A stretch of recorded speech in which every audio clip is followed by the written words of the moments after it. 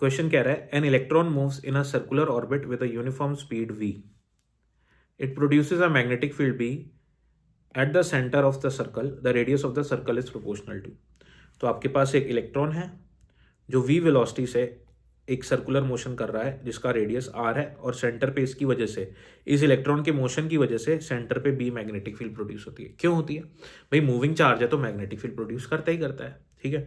तो ये moving charge centre पे कुछ भी मैग्नेटिक फ़ील्ड प्रोड्यूस करता है तो इस सर्कल की रेडियस किसके प्रोपोर्शनल में होगी? हमको निकालना है।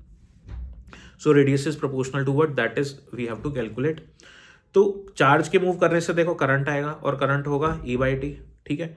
अब मैग्नेटिक फ़ील्ड सेंटर पे कोई भी करंट कैरिंग कॉइल करंट कहाँ से आया यहाँ पे? इलेक्ट्रॉन अगर यू मूव कर रहा है तो करंट ऐसे जा रहा है, क्योंकि करंट को हम क्या मानते हैं? करंट को हम मानते हैं फ्लो ऑफ़ पॉजिटिव चार्ज तो अगर करंट यहाँ पे इस डायरेक्शन में मूव करेगा तो इलेक्ट्रॉन अपोजिट डायरेक्शन मूव करेंगे। इलेक्ट्रॉन के मोशन को जो हम कहते हैं, उसको कहते हैं इलेक्ट्रॉनिक करंट और जो ये वाला आई करंट होता है पॉजिटिव चार्ज के मोशन से जो करंट आता है, उसको हम कन्वेंशनल करंट कहते हैं। करंट इलेक्ट्रिसिटी में पढ़ा है आपने, ठीक है ना? तो यहाँ पे जो करंट बनेगा, वो क्यू बाई टी बन जाएगा, यानी कि ई बाई टी हो जाएगा। अब इस ई बाई टी वैल्यू को हम यहाँ पे सब्सिट्यूट कर देते हैं, क्योंकि जो एक सर्कुलर कॉइल होती है, उसके सेंटर पे करंट की वजह से जो मैग्नेटिक फ़ील्ड प्रोड्यूस होती है, वो होती है mu naught I by two R अब इस आई की वैल्यू हम यहाँ सब्सिट्यूट कर देंगे तो ये हो जाएगा mu naught into e upon में टू आर टी समझ में बात? टी क्या है? टाइम पीरियड अब इसको यहाँ से यहाँ घूमने में कितना टाइम लगता है?